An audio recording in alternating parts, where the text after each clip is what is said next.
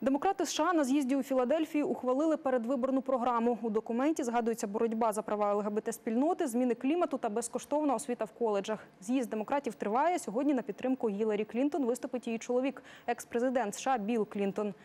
До нашого ефіру приєднується оглядач Української служби голосу Америки Богдан Цюпин. Вітаю, Богдане. Що планують у другий день з'їзду? Чи підвищить виступ Біла Клінтона рейтинг його дружини?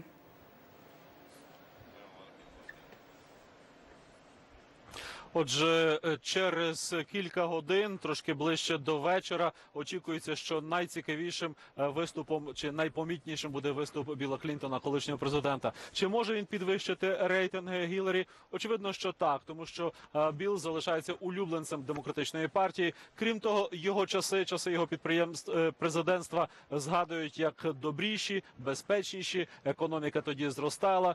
Про тероризм ми так багато не говорили тоді. Єдине, що йому треба буде відокремити, скажімо, успіхи свого е, президентства від певної контраверсії, е, особистих скандалів, а також наголосити, що, попри те, що е, Гіларі дружина Біла, вона буде самостійним президентом і вона принесе зміни і нову політику в Америку. Київ.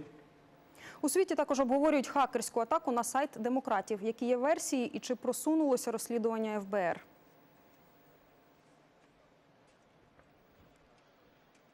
ФБР ще лише вчора оголосило про початок саме цього розслідування, і нової інформації від федерального бюро немає. Але про це дуже багато пише американська преса і говорять експерти. Вони кажуть, що однозначно слід, тобто так звані кібервідбитки пальців, ведуть в Росію. Питання тільки полягає в тому, чи ті хакери пов'язані з Росією, чи вони діяли е, під керівництвом спецслужб російських, російського уряду, на що є дуже е, серйозні нарікання, і, і також чи е, можна сказати, що будуть якісь якісь докази, і чи точно Росія намагається втручатися в американські вибори, і це дуже серйозні питання, які американців турбують. Київ.